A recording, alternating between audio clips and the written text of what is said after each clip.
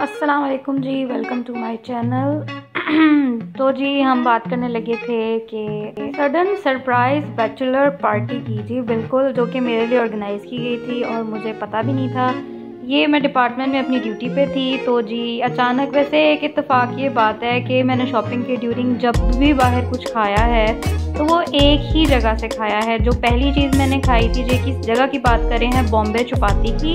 और ये जी मैंने वहाँ पे खाया था। दैट वाज बहुत ही मज़ेदार सी जी ये चाट थी। इसका नाम सॉरी मैं भूल गई हूँ, मैं मेंशन कर दूँगी इधर।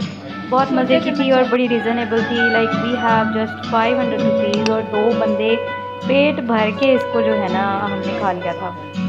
बड़ा मज़ा आया था। उसके बाद एक और चीज़ जो मैंने ली थी क्या था कि कोल्ड कॉफ़ी सोडा वोडा की ये थी ये भी मैं मैंशन कर दूँगी। ये भी बहुत मज़े की थी ज़रूर ट्राई करिएगा।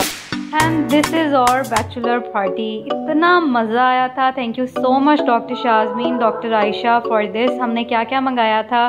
स्टार्टर्स में हमने जी फ्राइज़ मंगाए थे, वो हमने खाए थे. बारबेक्यू प्लेटर था, चाउमिन था. उसके अलावा जी सैलड्स की इतनी वैरायटी थी. और हमने बिरयानी मंगवाई थी जो पॉट वाली होती है. वो अभी वो खोल के भी आपको दिखाएँगे किस तरह से भी पानी आ रहा है। इनका व्यू बहुत अच्छा था, बहुत लेविश था, ज़रूर ट्राई करिएगा। और जी चाउमिन भी बहुत अच्छा था, लेकिन जो बिरयानी थी, वो मुझे ज़रा घर की ज़्यादा पसंद है।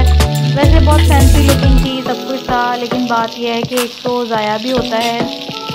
जो इस तरह पॉट में खाना होता है, उसको खोलना, डालते हुए नीचे गिर जाता है। प्रॉपर आप उसको नीचे से ऊपर तक, क्योंकि ये घर तो नहीं है, इसका मुँह बहुत छोटा था।